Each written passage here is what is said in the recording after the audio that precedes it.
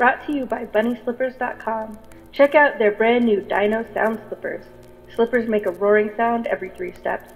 Made with green scaly fabric, soft plush uppers, foam footbeds, non-slip grips on soles, and three white claws on each foot.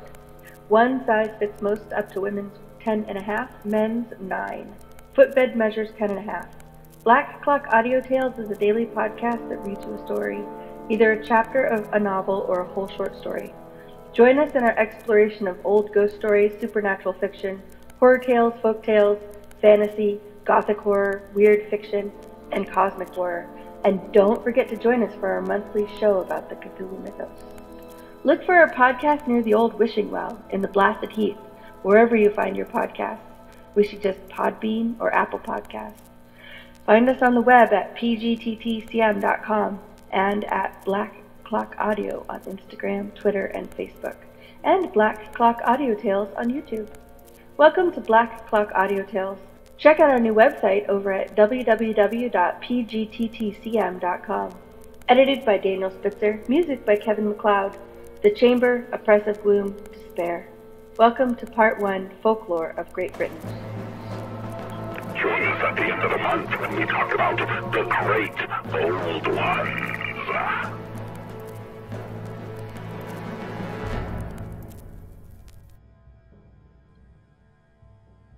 The Brownie of Fern Den There have been many brownies known in Scotland, and stories have been written about the Brownie of Bodsbeck and the Brownie of Blednock, but about neither of them has a prettier story been told than that which I am going to tell you about the Brownie of Fern Den.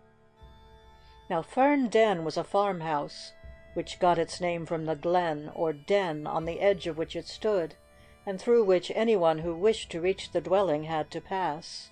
And this glen was believed to be the abode of a brownie who never appeared to anyone in the daytime, but who, it was said, was sometimes seen at night stealing about, like an ungainly shadow from tree to tree, trying to keep from observation, and never by any chance harming anybody. Indeed, like all brownies that are properly treated and let alone, so far was he from harming anybody that he was always on the lookout to do a good turn to those who needed his assistance.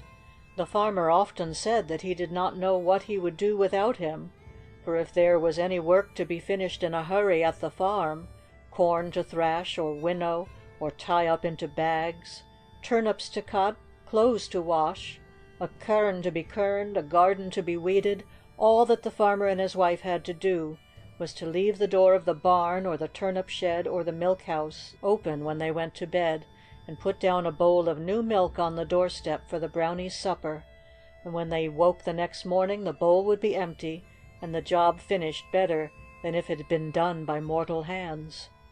In spite of all this, however, which might have proved to them how gentle and kindly the creature really was, every one about the place was afraid of him and would rather go a couple of miles round about in the dark, when they were coming home from kirk or market, than pass through the glen and run the risk of catching a glimpse of him.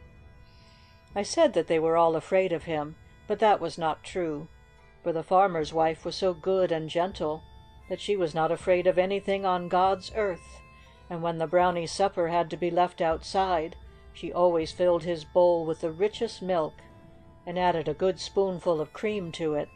"For," said she, "he works so hard for us and asks no wages, he well deserves the very best meal that we can give him." One night this gentle lady was taken very ill, and everyone was afraid that she was going to die. Of course her husband was greatly distressed, and so were her servants, for she had been such a good mistress to them that they loved her as if she had been their mother.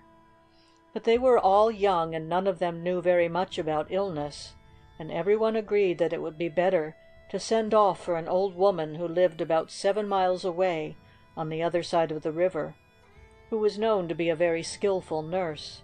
But who was to go? That was the question, for it was black midnight, and the way to the old woman's house lay straight through the glen, and whoever travelled that road ran the risk of meeting the dreaded Brownie.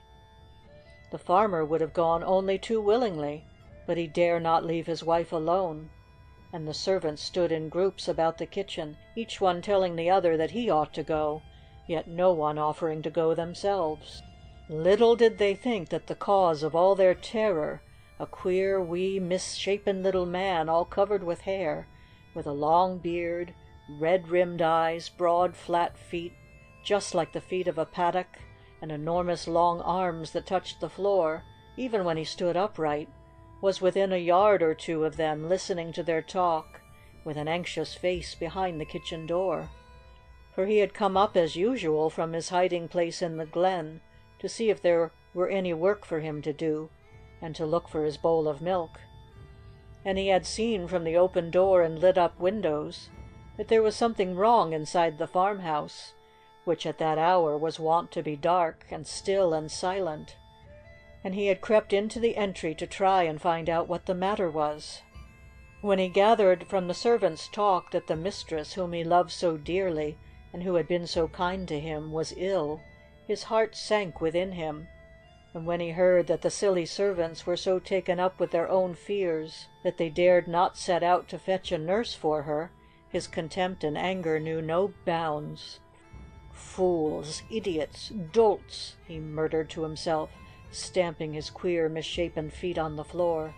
"They speak as if a body were ready to take a bite off of them as soon as ever he met them. If they only knew the bother it gives me to keep out of their road, they wouldna be so silly. But by my troth, if they go on like this, the bonny lady will die amongst their fingers, so it strikes me that Brownie must e'en gang himself." So saying, he reached up his hand, and took down a dark cloak which belonged to the farmer, which was hanging on a peg on the wall, and throwing it over his head and shoulders or as somewhat to hide his ungainly form, he hurried away to the stable, and saddled and bridled the fleetest footed horse that stood there. When the last buckle was fastened, he led it to the door and scrambled on its back. "Now, if ever thou travelled fleetly, travel fleetly now," he said, and it was as if the creature understood him, for it gave a little whinny and pricked up its ears. Then it darted out into the darkness like an arrow from the bow. In less time than the distance had ever been ridden in before, the Brownie drew rein at the old woman's cottage. She was in bed fast asleep, but he rapped sharply on the window, and when she rose and put her old face, framed in its white mutch, close to the pane, to ask who was there, he bent forward and told her his errand. "Thou must come with me, good wife, and that quickly," he commanded, in his deep, harsh voice if the Lady of Fernden's life is to be saved, for there is no one to nurse her up by at the farm there, save a lot of empty headed servant wenches." "But how am I to get there? Have they sent a cart for me?" asked the old woman anxiously, for, as far as she could see, there was nothing at the door save a horse and its rider. "No, they have sent no cart," replied the Brownie shortly.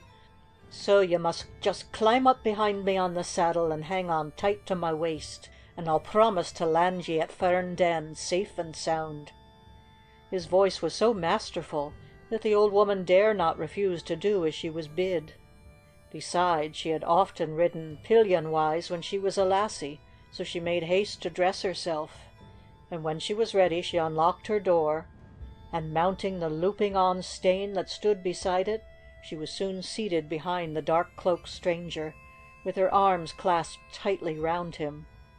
Not a word was spoken till they approached the dreaded glen. Then the old woman felt her courage giving way. "Do you think that there will be any chance of meeting the Brownie?" she asked timidly. "I would fain not to run the risk, for folk say that he is an unchancy creature." Her companion gave a curious laugh. "Keep up your heart and dinna talk havers," he said for I promise ye ye'll see naught uglier this night than the man whom ye ride behind." "Oh, then, I'm fine and safe," replied the old woman, with a sigh of relief, "for although I havena seen your face, I warrant that ye are a true man for the care ye have taken of a poor old woman." She relapsed into silence again till the glen was passed and the good horse had turned into the farmyard. Then the horseman slid to the ground, and turning round he lifted her carefully down in his long, strong arms. As he did so the cloak slipped off him, revealing his short, broad body and his misshapen limbs. "In a' the world what kind o' man are ye?" she asked, peering into his face in the gray morning light, which was just dawning. "What makes your eyes so big, and what have ye done to your feet? They are more like paddocks' webs than aught else." The queer little man laughed again. "I've wandered many a mile in my time without a horse to help me, and I've heard it said that ower much walking makes the feet unshapely," he replied. "But waste no time in talking, good dame. Go thy way into the house, and hark'ee, if anyone asks thee who brought thee hither so quickly, tell them that there was a lack of men, so thou hadst e'en to be content to ride behind the Brownie of Fern Den." The Witch of Fife In the kingdom of Fife, in the days of long ago, there lived an old man and his wife. The old man was a douce, quiet body, but the old woman was lightsome and flighty, and some of the neighbors were wont to look at her askance and whisper to each other that they sorely feared that she was a witch. And her husband was afraid of it too, for she had a curious habit of disappearing in the gloaming and staying out all night, and when she returned in the morning she looked quite white and tired, as if she had been traveling far or working hard. He used to try and watch her carefully, in order to find out where she went or what she did, but he never managed to do so, for she always slipped out of the door when he was not looking, and before he could reach it to follow her, she had vanished utterly.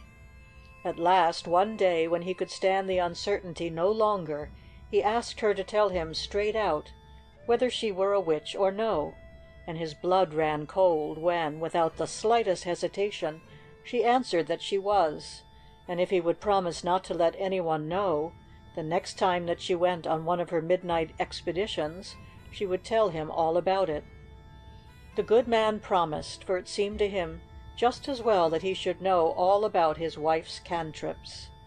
He had not long to wait before he heard of them, for the very next week the moon was new, which is, as everybody knows, the time of all others when witches like to stir abroad, and on the first night of the new moon his wife vanished, nor did she return till daybreak next morning. And when he asked her where she had been, she told him, in great glee, how she and four like minded companions had met at the old kirk on the moor, and had mounted branches of the green bay tree and stalks of hemlock, which had instantly changed into horses, and how they had ridden swift as the wind over the country, hunting the foxes and the weasels and the owls, and how at last they had swam the Forth and come to the top of Ben Lomond, and how there they had dismounted from their horses and drunk beer that had been brewed in no earthly brewery out of horn cups that had been fashioned by no mortal hands, and how after that a wee, wee man had jumped up from under a great mossy stone, with a tiny set of bagpipes under his arm, and how he had piped such wonderful music that, at the sound of it, the very trouts jumped out of the loch below, and the stoats crept out of their holes, and the corby crows and the herons came and sat on the trees in the darkness to listen, and how all the witches danced until they were so weary that, when the time came for them to mount their steeds again, if they would be home before cock crow, they could scarce sit on them for fatigue. The good man listened to this long story in silence, shaking his head meanwhile, and when it was finished all that he answered was, "And what the better are ye for all your dancing? Ye'd have been a deal more comfortable at home." At the next new moon the old wife went off again for the night, and when she returned in the morning she told her husband how, on this occasion, she and her friends had taken cockle shells for boats, and had sailed away over the stormy sea until they reached Norway, and there they had mounted invisible horses of wind, and had ridden and ridden over mountains and glens and glaciers, till they reached the land of the Lapps lying under its mantle of snow.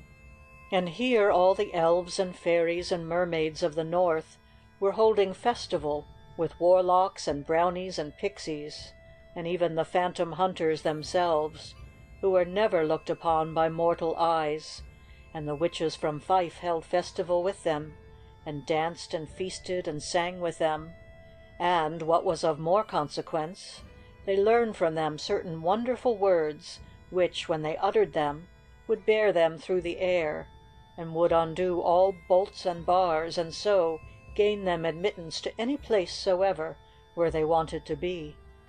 And after that they had come home again, delighted with the knowledge which they had acquired.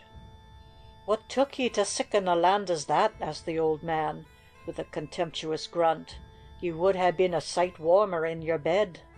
But when his wife returned from her next adventure he showed a little more interest in her doings, for she told him how she and her friends had met in the cottage of one of their number, and how, having heard that the Lord Bishop of Carlisle had some very rare wine in his cellar, they had placed their feet on the crook from which the pot hung, and had pronounced the magic words which they had learned from the elves of Lapland.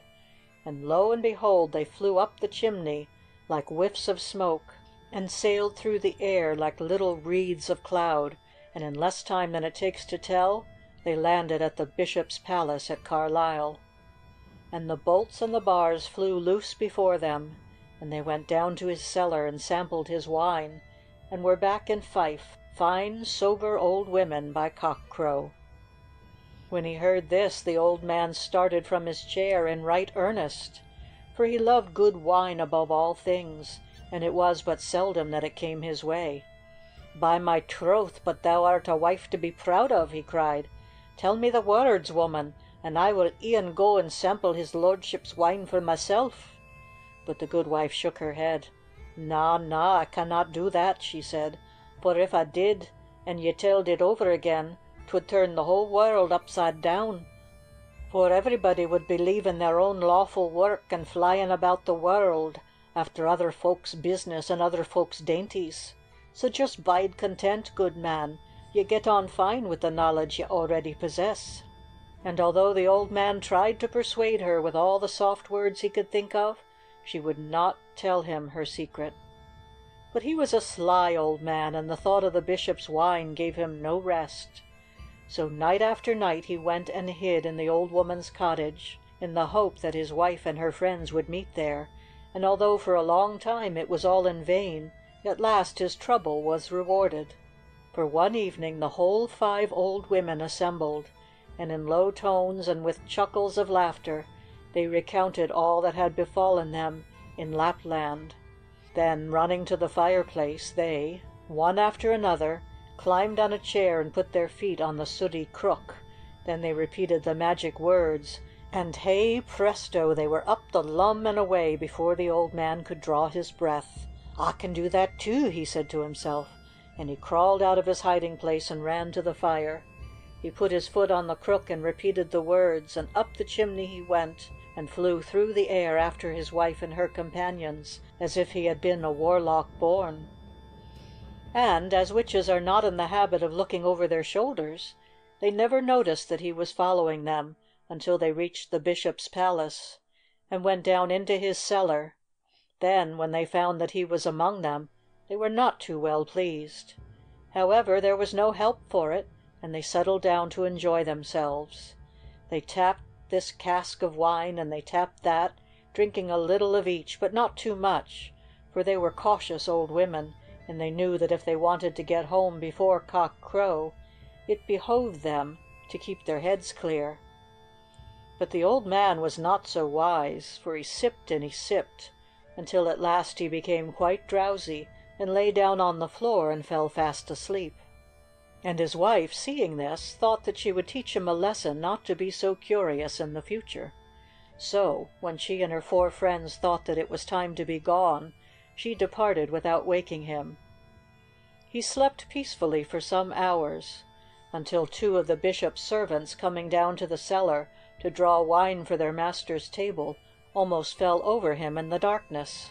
Greatly astonished at his presence there, for the cellar door was fast locked, they dragged him up to the light and shook him, and cuffed him, and asked him how he came to be there and the poor old man was so confused at being awakened in this rough way, and his head seemed to whirl round so fast, that all he could stammer out was that he came from Fife and that he had travelled on the midnight wind. As soon as they heard that, the men servants cried out that he was a warlock, and they dragged him before the bishop, and, as bishops in those days had a holy horror of warlocks and witches, he ordered him to be burned alive. When the sentence was pronounced, you may be very sure that the poor old man wished with all his heart that he had stayed quietly at home in bed, and had never hankered after the bishop's wine. But it was too late to wish that now, for the servants dragged him out into the courtyard and put a chain round his waist and fastened it to a great iron stake, and they piled faggots of wood round his feet and set them alight.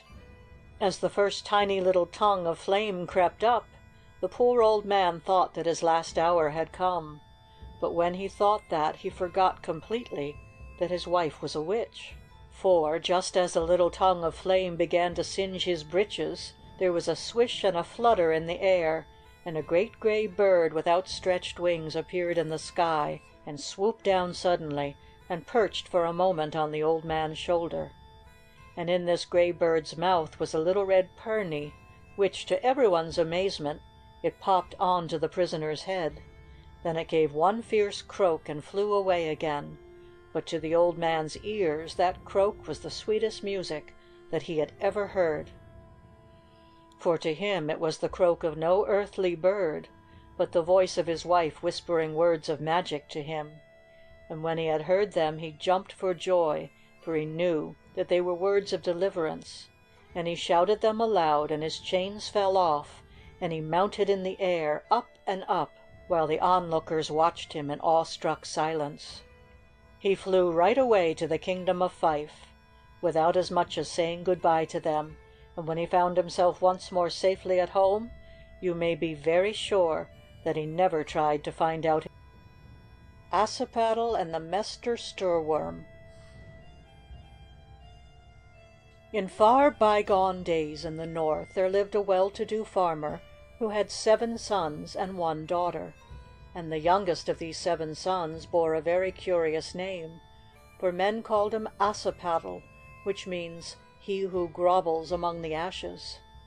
Perhaps Ashiepattle deserved his name, for he was rather a lazy boy who never did any work on the farm as his brothers did, but ran about the doors with ragged clothes and unkempt hair, and whose mind was ever filled with wondrous stories of trolls and giants, elves and goblins. When the sun was hot in the long summer afternoons, when the bees droned drowsily and even the tiny insects seemed almost asleep, the boy was content to throw himself down on the ash heap amongst the ashes and lie there, lazily letting them run through his fingers, as one might play with sand on the seashore basking in the sunshine and telling stories to himself. And his brothers, working hard in the fields, would point to him with mocking fingers and laugh, and say to each other how well the name suited him, and of how little use he was in the world. And when they came home from their work they would push him about and tease him, and even his mother would make him sweep the floor, and draw water from the well, and fetch peats from the peat stack, and do all the little odd jobs that nobody else would do. So poor Ashiepattle had rather a hard life of it, and he would often have been very miserable had it not been for his sister, who loved him dearly, and who would listen quite patiently to all the stories that he had to tell, who never laughed at him or told him that he was telling lies as his brothers did. But one day a very sad thing happened. At least, it was a sad thing for poor Ashiepattle. For it chanced that the king of these parts had one only daughter, the Princess Gem de Lovely, whom he loved dearly and to whom he denied nothing. And Princess Gem de Lovely was in want of a waiting maid, and as she had seen Assiepattle's sister standing by the garden gate as she was riding by one day, and had taken a fancy to her, she asked her father if she might ask her to come and live at the castle and serve her. Her father agreed at once, as he always did agree to any of her wishes, and sent a messenger in haste to the farmer's house to ask if his daughter would come to the castle to be the princess's waiting maid. And of course the farmer was very pleased at the piece of good fortune which had befallen the girl, and so was her mother, and so were her six brothers. all except poor Ashiepattle, who looked with wistful eyes after his sister as she rode away, proud of her new clothes and of the rivlins which her father had made her out of cowhide, which she was to wear in the palace when she waited on the Princess, for at home she always ran barefoot. Time passed, and one day a rider rode in hot haste through the country, bearing the most terrible tidings. For the evening before some fishermen, out in their boats, had caught sight of the Mester Stoorworm, which, as everyone knows, was the largest and the first and the greatest of all sea serpents. It was that beast which, in the Good Book, is called the Leviathan, and if it had been measured in our day its tail would have touched Iceland, while its snout rested on the North Cape. And the fishermen had noticed that this fearsome monster had its head turned towards the mainland, and that it opened its mouth and yawned horribly, as if to show that it was hungry, and that if it were not fed it would kill every living thing upon the land, both man and beast, bird and creeping thing for 'twas well known that its breath was so poisonous that it consumed as with a burning fire everything that it lighted on, so that, if it pleased the awful creature to lift its head and put forth its breath like noxious vapor over the country, in a few weeks the fair land would be turned into a region of desolation. As you may imagine, everyone was almost paralyzed with terror at this awful calamity which threatened them and the King called a solemn meeting of all his councilors, and asked them if they could devise any way of warding off the danger. And for three whole days they sat in council, these grave bearded men, and many were the suggestions which were made, and many the words of wisdom which were spoken; but alas, no one was wise enough to think of a way by which the Mester Stoorworm might be driven back. At last, at the end of the third day, when everyone had given up hope of finding a remedy, the door of the Council Chamber opened, and the Queen appeared. Now the Queen was the King's second wife, and she was not a favorite in the kingdom, for she was a proud, insolent woman, who did not behave kindly to her stepdaughter, the Princess Gem de Lovely, and who spent much more of her time in the company of a great sorcerer whom everyone feared and dreaded than she did in that of the King, her husband. So the sober councilors looked at her disapprovingly as she came boldly into the council chamber and stood up beside the King's chair of state, and speaking in a loud, clear voice, addressed them thus: "Ye think that ye are brave men and strong, O ye elders, and fit to be the protectors of the people, and so it may be, when it is mortals that ye are called on to face. But ye be no match for the foe that now threatens our land. Before him your weapons be but as straw. 'Tis not through strength of arm, but through sorcery, that he will be overcome. So listen to my words, even though they be but those of a woman, and take counsel with a great sorcerer, from whom nothing is hid, but who knoweth all the mysteries of the earth and of the air and of the sea." Now the King and his counselors liked not this advice, for they hated the sorcerer, who had, as they thought, too much influence with the Queen; but they were at their wits' end, and knew not to whom to turn for help, so they were fain to do as she said and summon the Wizard before them. And when he obeyed the summons and appeared in their midst, they liked him none the better for his looks, for he was long and thin and awesome, with a beard that came down to his knee and hair that wrapped him about like a mantle, and his face was the color of mortar, as if he had always lived in darkness and had been afraid to look on the sun. But there was no help to be found in any other man, so they laid the case before him and asked him what they should do. And he answered coldly that he would think over the matter and come again to the assembly the following day and give them his advice.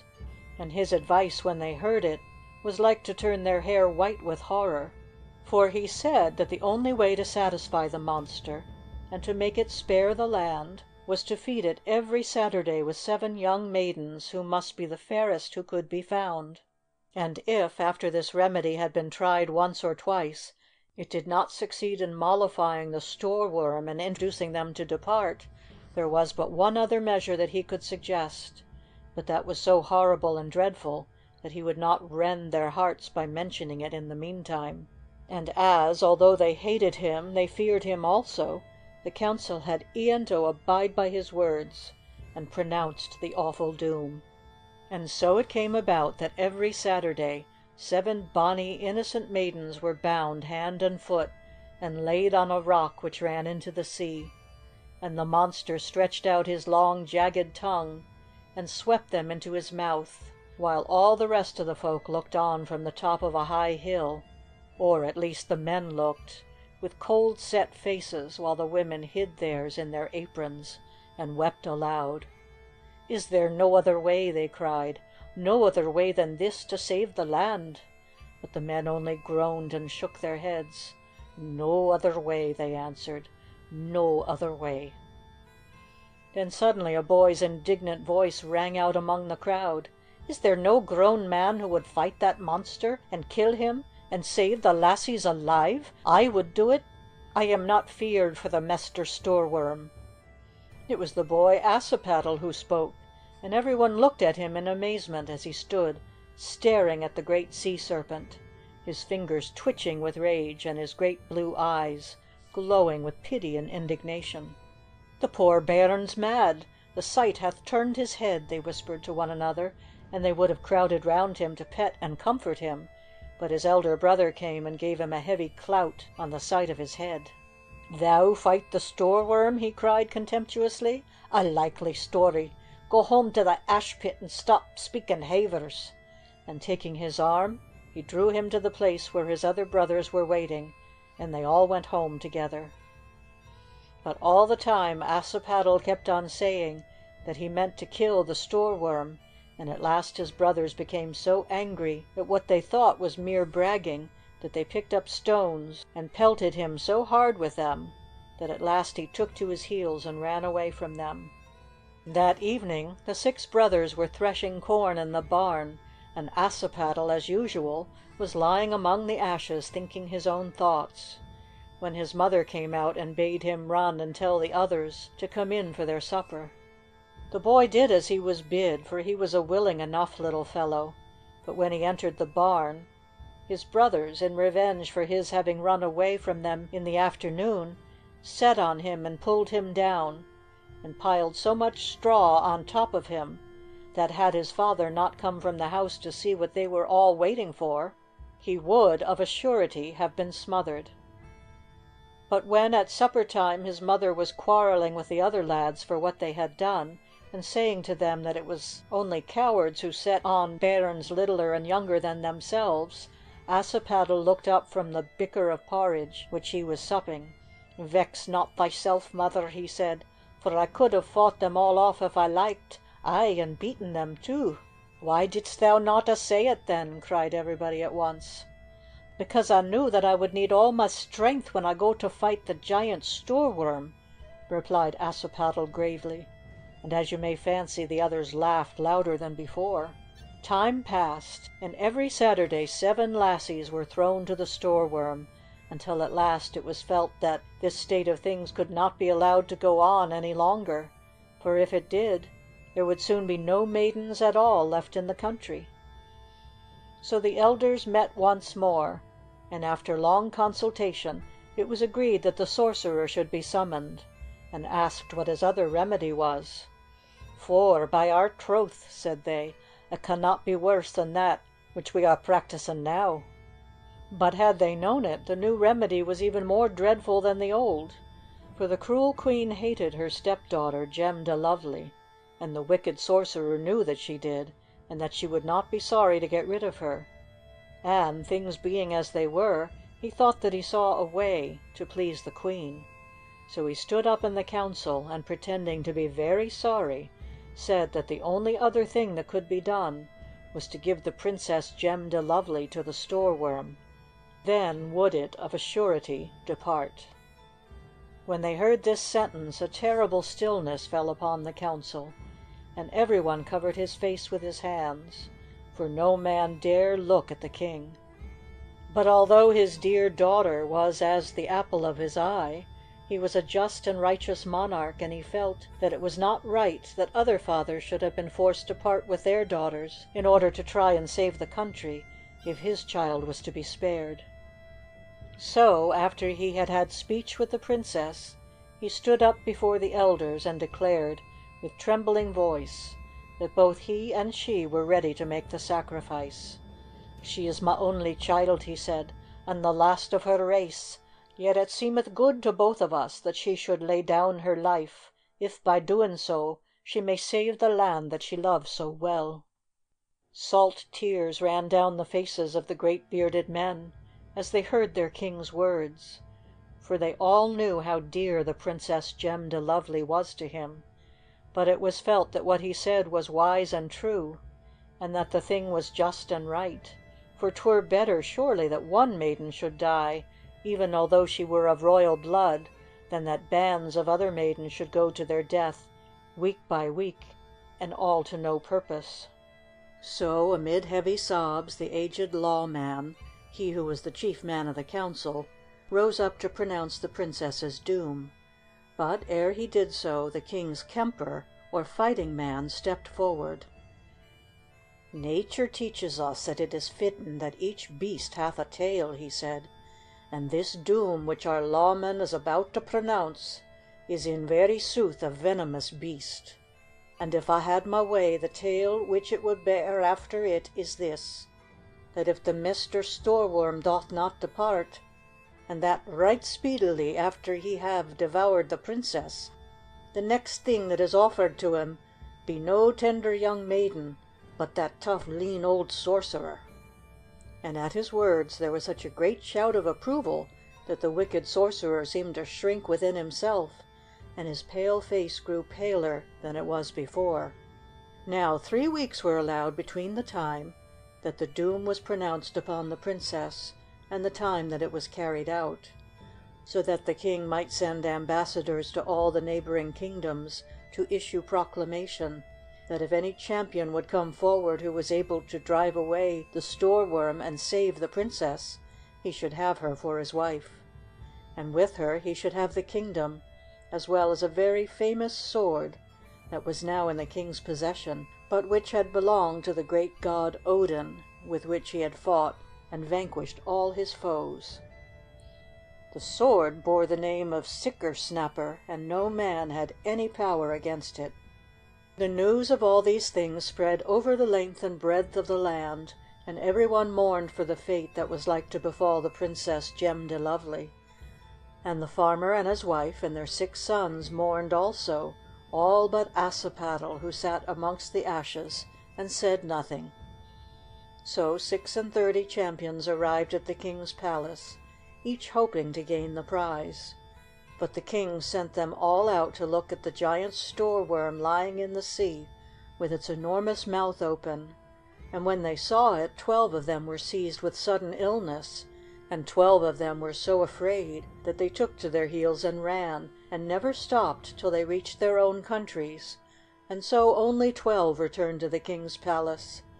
And as for them, they were so downcast at the thought of the task that they had undertaken that they had no spirit left in them at all, and none of them dared try to kill the Stoorworm. So the three weeks passed slowly by until the night before the day on which the Princess was to be sacrificed.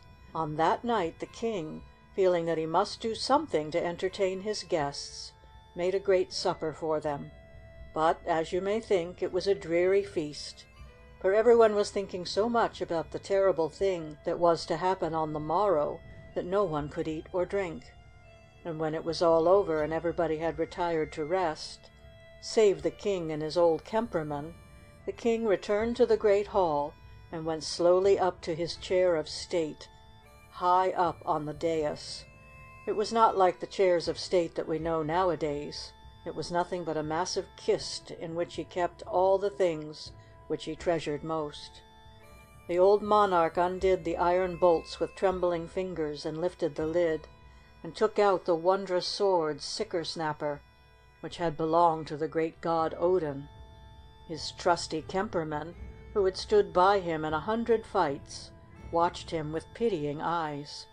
"Why lift ye out the sword," he said softly, "when thy fighting days are done?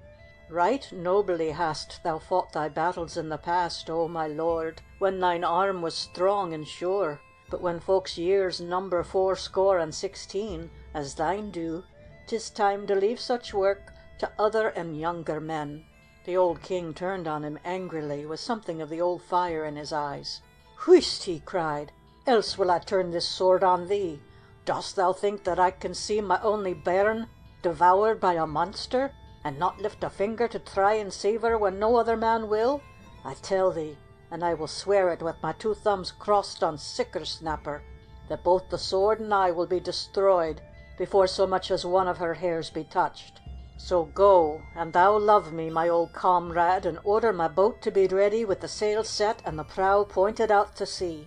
I will go myself and fight the Stoorworm, and if I do not return I will lay it on thee to guard my cherished daughter peradventure my life may redeem hers."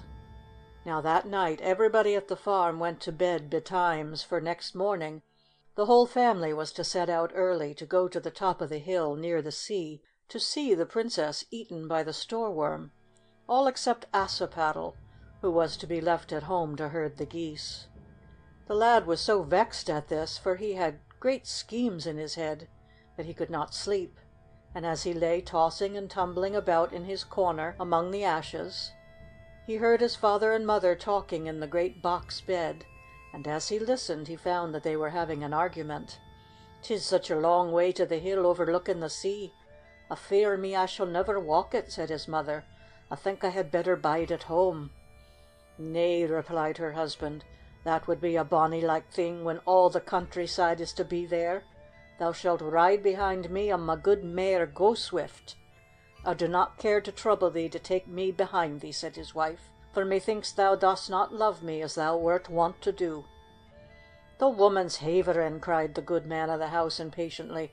"What makes thee think that I have ceased to love thee?" "Because thou wilt no longer tell me thy secrets," answered his wife. To go no further, think of this very horse, Go Swift. For five long years I've been begging thee to tell me how it is that, when thou ridest her, she flies faster than the wind, while if any other man mount her, she hirples along like a broken down nag."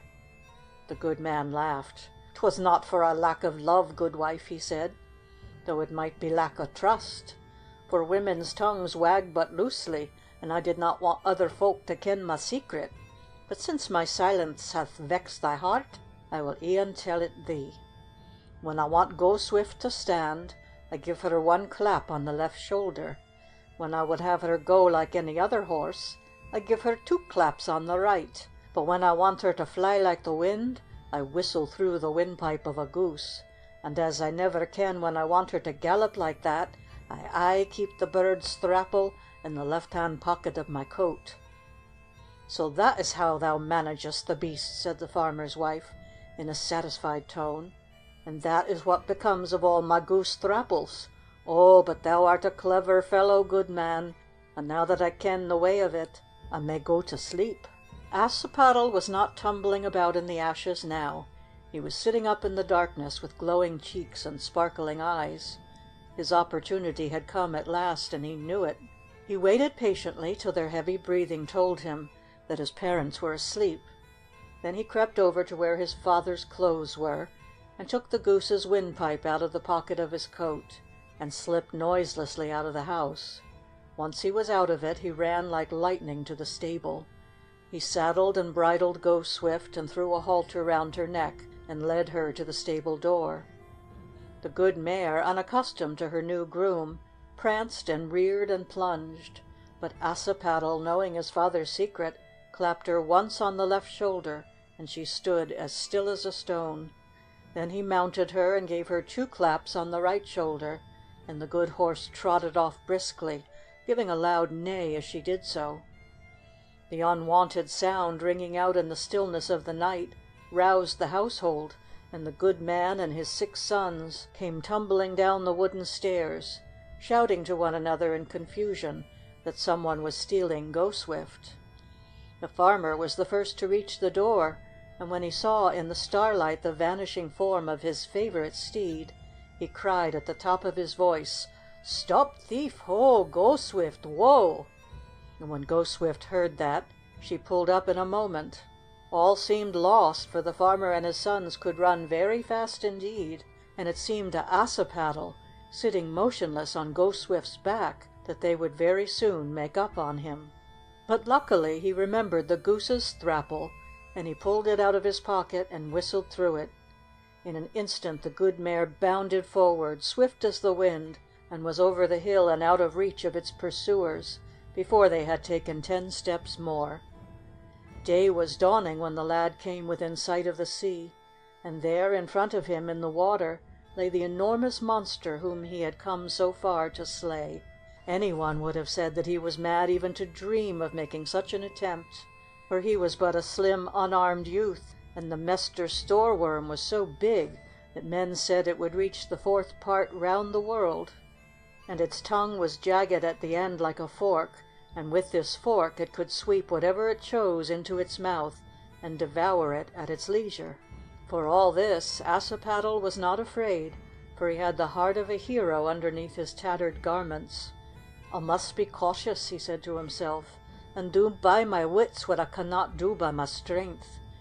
He climbed down from his seat on Go Swift's back and tethered the good steed to a tree and walked on, looking well about him till he came to a little cottage on the edge of a wood. The door was not locked, so he entered, and found its occupant, an old woman, fast asleep in her bed. He did not disturb her, but he took down an iron pot from the shelf and examined it closely.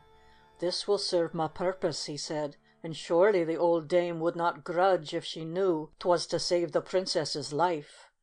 Then he lifted a live peat from the smouldering fire and went his way. Down at the water's edge he found the King's boat lying, guarded by a single boatman, with its sails set and its prow turned in the direction of the Mester Stoorworm. "It's a cold morning," said Ashiepattle. "Art thou not well nigh frozen sitting there? If thou wilt come on shore and run about and warm thyself, I will get into the boat and guard it till thou returnest." "A likely story!" replied the man. "And what would the King say if he were to come as I expect every moment he will do, and find me playing myself on the sand, and his good boat left to a smatchet like thee? 'Twould be as much as my head is worth." "As thou wilt," answered Ashiepattle carelessly, beginning to search among the rocks. "In the meantime I must be looking for a wheen mussels to roast for my breakfast." And after he had gathered the mussels, he began to make a hole in the sand to put the live peat in. The boatman watched him curiously, for he too was beginning to feel hungry. Presently the lad gave a wild shriek and jumped high in the air. "Gold! Gold!" he cried. "By the name of Thor, who would have looked to find gold here?" This was too much for the boatman. Forgetting all about his head and the King, he jumped out of the boat, and pushing Ashiepattle aside, began to scrape among the sand with all his might. While he was doing so, Ashiepattle seized his pot, jumped into the boat, pushed her off, and was half a mile out to sea before the outwitted man, who, needless to say, could find no gold, noticed what he was about. And of course he was very angry, and the old King was more angry still when he came down to the shore, attended by his nobles and carrying the great sword Sikkersnapper, in the vain hope that he poor, feeble old man that he was, might be able in some way to defeat the monster and save his daughter. But to make such an attempt was beyond his power now that his boat was gone, so he could only stand on the shore, along with the fast assembling crowd of his subjects, and watch what would befall. And this is what befell.